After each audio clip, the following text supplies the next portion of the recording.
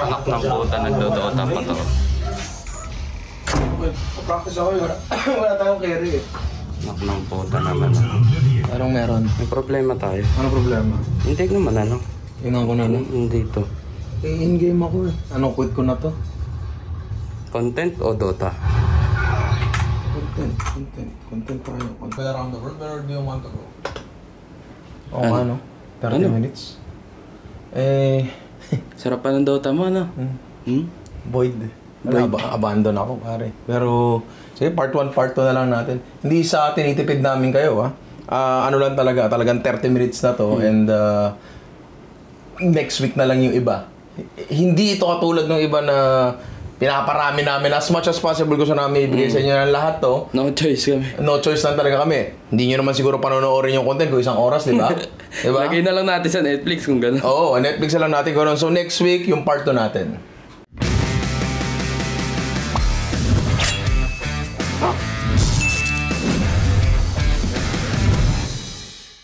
Shakshuka, pare, ang gagawin natin ngayon. Ah, kilala ko to bilang isang Middle Eastern dish. 'Di ba? Pero ayon sa research ni producer Alvin, marami pala tong version sa iba't ibang bansa. Merong African, tama ba? Merong eh sa bagay, yung buong Middle East kadikit kad- kadikit kadikit na nandoon na rin yun eh. Siguro nagkaroon nagkaroon na ng ah, sharing of influences. Pero regardless, ah, gawin na rin natin 'to, pare. Olive oil sa isang ah, nag-uuminit na pan. Sibuyas, bell pepper at bawang, pare. Kung gagamit kayo ng cumin powder, eh di sige. Kami kasi cumin seeds pare kasi wala kami, ito meron kami, di ba? So ang cumin seeds maganda yung ginigisa.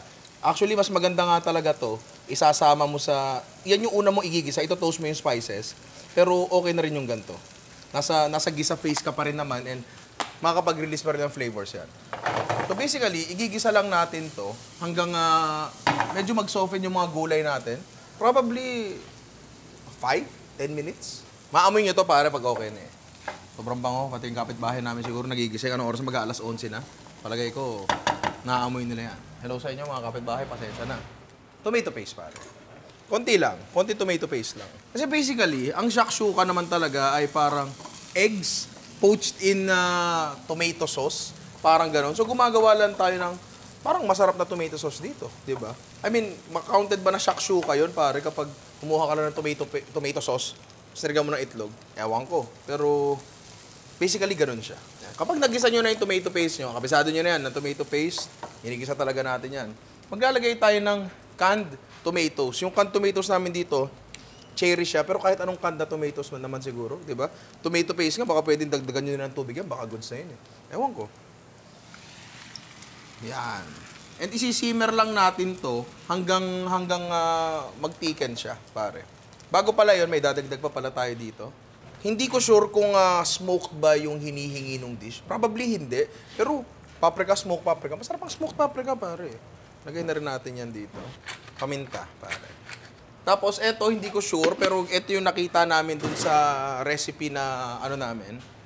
Asukal, pare. And gets ko naman yun. Medyo masarap naman talaga na may konting ah, tamis sa mga tomato products. Case in point, Pinoy spaghetti. Kaya natin ng konting asukal. Yan, simmer na lang natin to hanggang mag-reduce. Pero mga 5, 10 minutes. Balikan nyo ako mamaya. Very chunky, very ah, very interesting yung itsura niya. Hindi siya swabe na tomato sauce, di ba? And yan yung ah, nakita namin doon. Ngayon, ang gagawin natin, maghuhukay tayo ng konti dyan. Tapos, babasagan natin ng itlog yan. Yun. Yan, lagyan nyo dyan. Yan. Yan. Tapos ngayon, ang gagawin na lang natin dyan, basically is, lulutuin natin yung itlog. Kukovera na lang natin yan tulad ng ginawa natin kanina ng foil, pare. Yan. Tapos tuwalya. Make sure lang na hindi malakas ang apoy nyo para hindi masunog ang tuwalya nyo. And after mga 5 to 10 minutes, luto na yan, pare. Check natin, pare. Yung. And uh, as expected, medyo naparami nga yung itlog natin. Mukha pa rin naman siya okay. Parang walang plating to eh. Kasi yung sa nakita ko, di ba, ginagano na lang nila ng ano, ng parang tinapay, parang ganon. Pero toasted bread yung ginamit nila, hindi kami nakapag-toast. So normal na tinapay na lang. Kainin natin to. Tara. Tara. Nandito tayo ngayon sa, dahil di kami makapag-decide, mapa na lang, Jero. Lagay mo, lagay mo kami sa mapa ng Middle East. Ang itlog natin, jiggly. Ibig sabihin, hilaw ang ating yolk. Sorry, malasado pala. Hindi hilaw. Uy, uy, uy, uy, uy, uy, uy. Uy. Thank you, Middle Eastern. uh, thank you, uh, Mr. Middle Eastern man. May gardenia pala dito sa Middle East. ah. uh, yan. Parang hindi tayo sanay kumain ng any tomato-based kasamang tinapay. Ang Pilipinas naman kasi hindi naman tayo masyado maano sa tinapay, di ba pare? Tama. Kanin tayo eh. Ang sarap niya eh. Like kung aalisin mo yung influences mo, ang sarap niya eh. Pero andun yung parang, bakit parang kumakain ako ng spaghetti na pinalaman sa tinapay? Parang may ganung vibe eh. Di ba? Pero, kapag nalagyan siya nung ano, malasadong pula ng itlog, pare, nagbabago lahat. Everything changes, pare. Ah, hello, my, hello, my friend. Hello, hello, hello, hello. Pero niya, ang sarap. Sobrang okay na ito. Hindi malayo sa mga lasang alam natin. Yan yung cumin na nilagay namin. Pare. Hindi siya intrusive, yung lasa niya. So ako, okay ako dito. Masaya ako dito. Considering na yung effort na pinasok natin dito, ang konti lang. Goods na goods sa akin to. I suggest itry nyo rin to. My friend, where are we going next? And we're going to Scotland. Scotland. Scotland. It's very far. Let's go. Let's go. Yorkshire. Saan ba yung Yorkshire? Alam ko, Yorkshire pudding eh. Yun yung alam ko. eh. Yorkshire, ano yun? Aso. Oo, aso rin yun. Yorkshire Terrier. Oo. Yorkshire, sa ano? Sa New York. Sige, basta sa Yorkshire, pare. Sabi ni Ginoong Totong. So sige, tara, gawin na natin to. Sabi daw ni Wikipedia. Basically, ang scotch egg lang naman talaga ay ah, hard-boiled egg, pare, na binalutan mo ng sausage meat, ng giniling, pare. Tapos, binalutan ng breadcrumbs, pinirito. Ganun lang kasi, siya kasimple, di ba? Pero dito kasi sa atin, madalang ka makakabili ng sausage meat na ano, na tatanggalin mo sa casing, yung hilaw pa. Nung ganisa natin dito, luto na eh, di ba? So gagawa tayo dito ng sarili natin parang sausage meat. Magsisimula yung pare sa giniling na baboy. Yan. Tapos dito, lalagyan na lang natin to ng kahit anong bagay na tingin nyo na bagay sa sausage. Pare. Asin, una sa lahat. Asa sa inyo na yan, pero pwede kayo maglagay ng asukal kung gusto nyo lang. Kung gusto nyo lang. Paminta, pare. Bawang, medyo marami, pare. Tapos, sausage kasi, meron tinatawag na step yan na protein extraction, pare. Kung saan nilalamutak mo na nilalamutak ang karne, tapos lumalagkit siya, pare. Ngayon, kung ah, hindi mo magagawa ng maayos yun, okay lang maglagay ng ah, some sort of a binder. Maglalagay tayo ng cornstarch. Konti lang, konti lang. Para lang ma-ensure natin na buo yung ating ah, sausage. Tapos ngayon, slamutak time, pare. nilalamutak natin siya, nililiquify natin yung protein kasi gusto nating maging ma- mabind siya ng maayos, pare. Kung gusto mo, salang mo sa stand mixer mo to, sa ano, sa tinapay, pwede 'yan, pare. Pwede pwede 'yon. Gamitin niyo lang yung paddle attachment, pwede pwede 'yon. Pero for our purposes, okay lang naman siguro kasi naglagay tayo ng cornstarch, alam mo yun, hindi naman to legit na sausage. Scotch egg lang naman to, eh, 'di ba? Tapos meron tayo ditong hard-boiled eggs na honestly, hindi maganda exterior niya. Gawa ng ah, mabigat ang aking kamay sa pagbabala. So kuha kayo ng ah, isang ah, lagay kayo ng itlog doon at ibalot nyo. Pare. Make sure lang na walang nakalabas para lang maayos. Pag hindi pag pag nakalabas di okay yun. Eh. Di ba pare? Oh. Ganyan. Balutin mo ako sa hiwaga ng iyong pagmamahal. Trip. Oh, nag-enjoy ka sa shakshuka.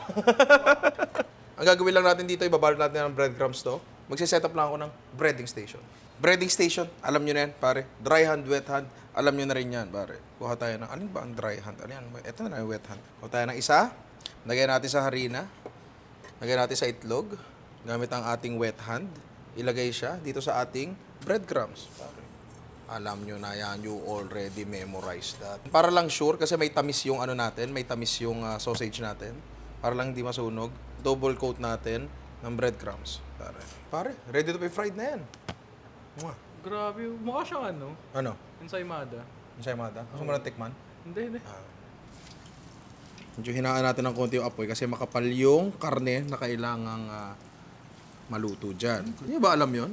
O, di ngayon, alam nyo na, di ba? So yun nga, lulutuin lang natin yan. And ah, yun, kailangan lang maluto dyan yung karne. Yung itlog naman, luto na. So balikan nyo ako mamaya dito, mabilis lang. to. Diba? Parang butsi, pero puro karne naman yan. Alam ko, wala na rin plating yan eh. Kaya na yan. A Scotsman, pare. Ang hirap palang maghiwa ng ano, no, wala, wala sa chop. Scotch egg. Yan. Medyo amoy sausage naman siya. Yung mga nakikita namin sa internet, malasado siya, usually. Yung ah, soft boil. Meron kami nakahanda soft boil, hindi namin mabalatan ng maayos, lahat nadurog. So, doon na lang kami sa hard boiled namin, pare.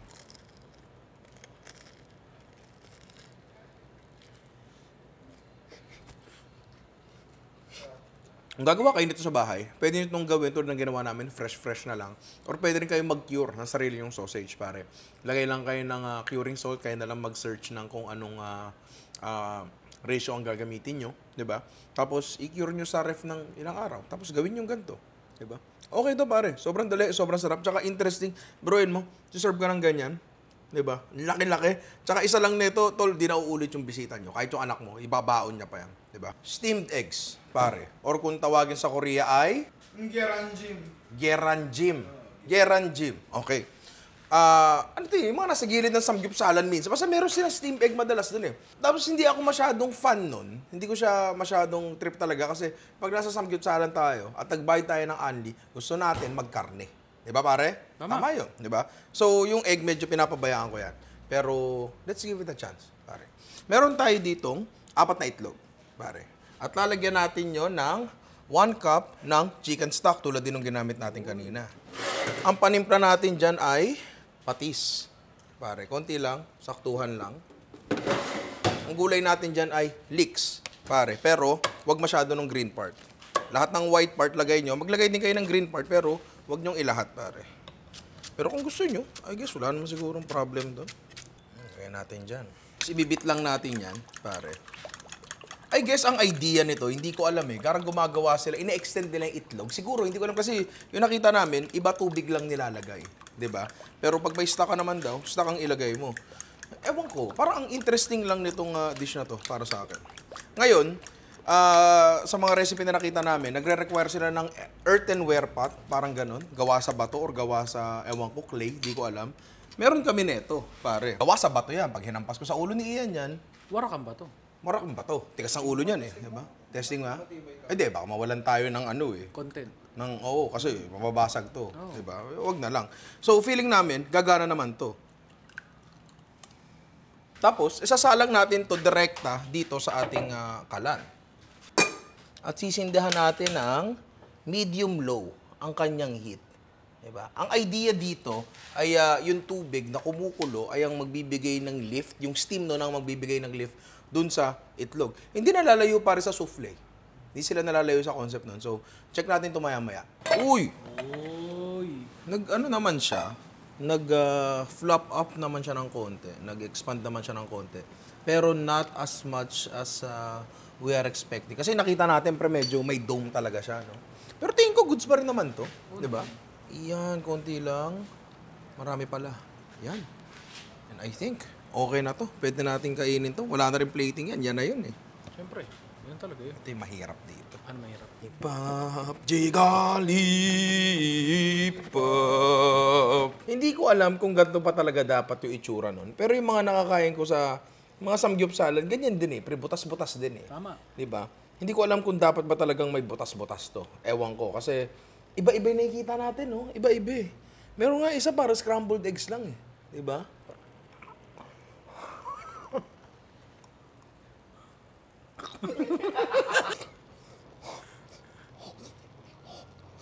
Pag yan lumabas ulit ah. Pre, iba to. Pero masarap siya. I suggest itry nyo siya. Siguro ang pinaka, ay, hindi, wag lang talaga gato kainit pare ha. Pero tingin ko ang pinaka magiging problema dito is yung paghahanap ng earthenware pot. Pero technically pare, ang palayok ay earthenware pot. Ayun, Di ba? pwede dun. So baka pwede kayong gumawa ng ano, palayok. Di ba? I mean, magluto nito sa palayok. Ewan natin, di ba? Okay, medyo paso pa rin yung dila ko, pero kailangan kong humabol ng flight. Ah, Mr. Korean man, where are we going next? Tagalog. Amerika? Abalik tayo Amerika? Na naman? Tara. Deviled eggs ang gagawin natin Uy. ngayon. Dinemonyong itlog. Ryan's eggs. Ryan's eggs, deviled eggs. Pwede. Ah, ang deviled eggs actually ay ah, merong ah, origins from ah, ancient Rome. Pare, eh, but lahat naman ata ng bagay from ancient Rome. Eh. Alam mo yun? Pero kaya namin sinabing pupunta kami sa Amerika ngayon kasi mostly associated na siya with American cuisine. Siguro, due to the uh, various influences na nanggaling sa iba't ibang bansa at nabuo sa Amerika. Feeling ko lang naman, sabi lang naman yan ng University of Google. Google and YouTube, pare. So, gawin na natin yun. Napakadali lang din ito. Meron tayo ditong hard-boiled eggs, pare, na expertly peeled. Napakaganda ng pagbabalat. Diba? Ibang klase. Mahirap talaga magbalat ng itlog minsan. Feeling ko nasa kulo yun eh. Maraming mga techniques yan. Binubutasan ng pin, nilalagyan ng suka yung tubig. Ewan ko. Pero ako tinanggap ko na lang paminsan-minsan talaga. May ganyan. And malungkot na ngayon pa yan nangyari. Pero okay lang yan. Yan, sakto. Natanggal yung yolk. Kasi yun ang gagawin talaga natin ngayon. Ilalagay natin yung yolk sa isang ah, bowl pa. Ito na rin, tanggalin na rin natin. And yung white, let's keep it intact. Mas maganda pala, no, kung gagawa kayo ng, kung mag-hard boil kayo ng itlog para sa deviled eggs, napakaganda kasi kapag nasa sentrong-sentro yung pula, pare. Para hindi medyo, hindi flimsy yung puti natin. 'di ba? So, ang gagawin nyo kapag magluluto kayo ng itlog para sa deviled eggs, ah pagugulungin nyo ng konti, konting-konti lang talaga, para hindi nag-rest yung yolk sa isang side dito, tapos maluluto siya, nasa gilid na gilid siya. Pangit yon. Mas maganda, tulad yan, halos nasa sentro. Pero hindi pa sentrong-sentro yan. Pero goods naman yan, pare. So ngayon, ang whites natin, pare, i-set aside natin yan. And mag-focus tayo dito sa ating mga yolks, pare. Basically, parang gagawin lang natin dito, ay titimplahan natin yung yolk. Ako, gusto ko bawang. Yan, lagay tayo maraming bawang, pare. Mayonnaise, pare. Pero I doubt na nanggaling sa ancient Rome tong influence na to. Mayonnaise, lagyan natin. Konti lang, medyo matapang yan. And basically, eto na yon. Ang kagandahan dito sa recipe na to, pare, kahit ano pwede mong ilagay dito. Pwede kang mag cream cheese, di ba? Pwede kang mag-cream. Alam mo yun, kahit ano talaga pwede mong ilagay dito eh. The, the only limitation is your imagination. Tandaan mo yan, pare. Ilalagay lang natin sa loob uli. Hindi ako sure ah. Pero kaya siguro, para may nabasa ko, kaya siguro tinawag na deviled eggs. Yung deviled eggs, kasi, ano na siya, spiced na siya. Parang may nabasa akong ganun eh. 'Di ba? Siguro kung ano kung ano yung nilalagay nila diyan, nabibigyan ng ah, another layer of character yung egg yolk. Parang ganun ata 'yon. Pero kailangan namin i-fact check 'yan sa University of Google Archives pare. Garnishan lang natin 'to ng ah, smoked paprika. Para lang may konting pula. Yung mga nakain kong deviled eggs, pare, hindi ganito ka-loose yung ah, texture niya. Pero, nasa sa inyo naman yan eh. Nasa sa inyo naman yan. Ah, gawin nyo kung anong flavors yung trip nyo. Paglaruan yung recipe. Kasi yun naman yung point nitong series na ginagawa natin na to, pare. 'Di ba? Na-expose sa inyo, kung di pa kayo aware, sa mga klase ng pagkain na pwede natin gawin na hindi natin masyadong alam. Na kahit ako, hindi ko alam. Pare, steamed eggs na hindi ko alam yan eh. Ngayon ko lang natutunan yan eh, di ba? And ngayon, ang dami ko nang pwedeng gawin sa kanya. Ang dami ko nang nai-imagine. Magaling pa naman ako mag-imagine. Tikman na natin to, pare. Nandito tayo ngayon sa Central Park. Kasi sabi ni random American citizen na na na ang ah, deviled eggs daw ay kinakain usually pang picnic pero ang alam ko kinakain ito is yung mga cocktail cocktail pre. Kung isipin mo, pre, para sa longganisang itlog. Para ipinalaman mo yung hayop sa sarili niya. Ganon din to eh, di ba? Hmm. You seem interested, Mr. American na person. Do you want this egg? It seems that you really like eggs. I I do. I I like eggs. Also balls. They call me the Philippine baller. Ang konsepto niya lang, ang deviled eggs, ay, ano mo yung yolk, tinamplahan mo ng konti, pinasok mo sa loob. Pare. So dahil napaka basic nung idea niya, pwede mo siyang paglaruan ng maraming, maraming, maraming possibilities pa. So, uh, medyo nabusog ako sa mga kinain natin. Parang gusto ko munang ah, magpakalayo-layo at uh, uminom-inom man lang. Saan tayo pwedeng pumunta, Mr. American Citizen, behind the door? Go to Vietnam. Vietnam, pare. Let's go. Vietnamese egg coffee. Parang weird kung iisipin mo, 'di ba? Try natin. Andito naman tayo eh, 'di ba pare? Kape siya na nasa ano, coffee beans na nasa sa tea bags, parang ganun. I think okay lang din naman, 'di ba? May nakita nga ako pre instant lang gamit niya, eh, 'di ba? And I think naman regardless kung paano mo kukunin yung kape, ang pinaka-focus naman kasi natin dito is yung egg element. Pare, wala namang mababago doon, 'di ba? So meron tayong dalawang ah, dalawang coffee oh. Ay! Parang OEM to, pre. ah. Parang kulang to, ah. Tama ba to? Baka sabihin mong brand to. Saan mo nabili to? Ang galing sa Singapore yan? Ang yabang mo pala. Ah, okay. Kopi O. Baka naman. May kopi O brown din sila, pare. Meron kaya sila nung ano, walang asukal? Yung puro. Ano? Lagyan natin ng mainit na tubig. Yan. Tapos kasi dun sa Vietnamese drip coffee, pinapatulo nila yon. So eto rin, hayaan lang natin yan sa gilid, pare. Tapos, magpupunas tayo. Alam mo yung pagod ka na inaanto ka na lahat nakakatawa na, pare. Meron tayo ditong egg yolk, pare. Dalawa. May technique dito para mabilis to eh. Paano? Pero hindi ko alam kung dapat ko bang gawin. ayoko, ayokong gawin. Ayokong gawin, pare. Kailangan natin ng mixer, pero isa lang. isa lang talaga, pre, kasi maliit lang tong imimix natin eh. Di ba? Hmm. Tapos lang. Ang vlogger, mga barangay. Dahil nag-mixer na madaling araw. Bakit ganyan yung itsura niya? Hindi dapat ganyan yun eh. Nasa taas ba dapat? Nasa taas dapat yun eh. Bakit lang kutsara?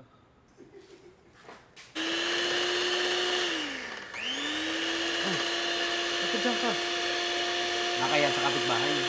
Hoy! Nagawa mo dyan! Baka magising mga kapitbahay para madaling araw na. Pwede na to. Pwede na to. Pwede na to. Ano yun? Nagul- nagulat ako eh. Ano Nagulat ako eh. Ay, hindi. Lumutang. Pare, lumutang na. Lumutang na, pare. Makakatulog na tayo. Makakatulog na tayo. May upload na tayo bukas. Pasensya na mga kapitbahay na napuyat sa amin. Welcome to Hanoi, pare. Let us experience the authentic Vietnamese egg coffee. Uy, a random uh, Vietnamese person passing by. Hanoy? Di ba sa Bulacan yun? Hagonoy yun, pare. Hanoy ba yun? Binago na pala. Inaantok na ako. Pero mukhang magigising uli ako dito, pare. Ang galing niya. Ang, ang, ang, ang galing talaga niya. Hindi ko naisip na pwede palang mangyari itong bagay na to. Diba? Mm-mm. Nilipad yan, pare. Magagano. Samahan mo. Nilipad yan, pare. Magagano naman. Pero ang sarap nito. Okay. Admittedly, kapag hinalo mo na siyang ganyan, hindi ko na makita kung bakit siya may itlog. Kung nasaan pa yung itlog. Hindi mo na nasaan. Tip- typical na siyang ano, kapag may gatas eh. Parang gano'n. eh. Sir Vietnamese person taste this if this is uh, up to your standards. Di ba pre, no? Nawala yung itlog. Nawala yung pagka-itlog niya. Pero, kay, ewan ko. I mean, ang galing pa rin. Isa-serve mo sa mga bisita mo na gano'n. Ano yan? Ay, Vietnamese egg coffee. Ha? May itlog yung kape mo? Ba? Impress your friends with this uh, drink, pare. Alam mo yun, mula sa mga typical egg dishes, pinirito natin, pinang-bind natin. Alam mo yun, may itlog eh. Pinirito, pinakuluan, in-steam. Alam mo yun, sobrang, sobrang galing lang eh. Siguro kasi, kung iisipin natin, wala naman talagang naturally occurring na madaling kunin na liquefied protein, pare, na tumitigas pag naluto. Kasi yun, para sa akin yun ang main property ng itlog talaga eh. Nagbabind siya kasi liquefied protein siya, pag nainitan, titigas siya. Wala akong naiisip na ibang substitute doon na kasing daling kunin ng, uy, itlog. Ano mo yun? Parang wala akong ibang naiisip eh. Siguro, yun yun, pare. So ayun, siguro panahon na para bigyan natin ng isa pang ah, tingin, pagkakataon, ang itlog. At i-elevate natin siya higit sa kung paano, kung paano natin siya tingnan bilang prito lang, kulo lang, alam mo yun, poach lang. Diyos ko, itong kape ko nga may itlog, oh, pare. Sino, ano yan? Sino mag-iisip niyan, pare? Si Ian nga may itlog eh. Sino mag-iisip nun, pare? Di ba?